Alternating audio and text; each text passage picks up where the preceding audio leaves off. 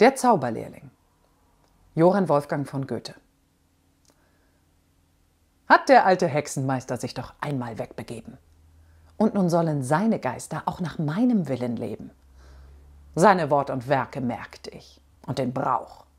Und mit Geistesstärke tu ich Wunder auch.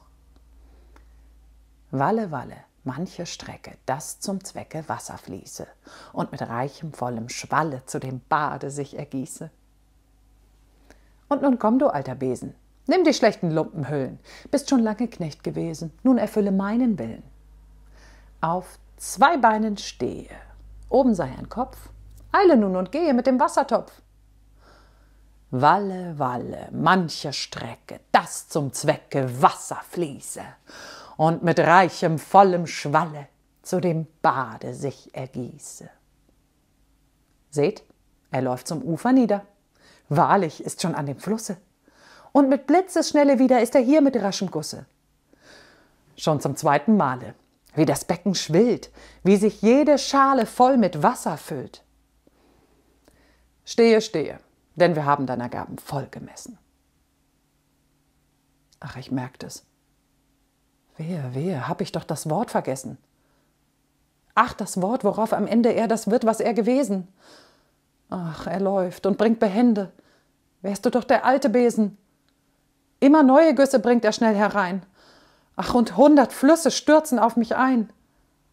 Nein, nicht länger kann ich's lassen. Will ihn fassen. Das ist Tücke. Oh, nun wird mir immer bänger. Welche Miene. Welche Blicke. Oh, du Ausgeburt der Hölle, soll das ganze Haus ersaufen? Sehe ich über jede Schwelle doch schon Wasserströme laufen. Ein verruchter Besen, der nicht hören will. Stock, der du gewesen, steh doch wieder still. Willst's am Ende gar nicht lassen? Will dich fassen, will dich halten und das alte Holz behende mit dem scharfen Beile spalten. Seht, da kommt er schleppend wieder, wie ich mich nur auf dich werfe. Gleich, o oh Kobold, legst du nieder, krachend trifft die glatte Schärfe. Wahrlich brav getroffen, seht er ist ein Zwei. Und nun kann ich hoffen. Und ich atme frei. Wehe, wehe. Beide Teile stehen in Eile, schon als Knechte, völlig fertig in die Höhe. Helft mir, ach, ihr hohen Mächte!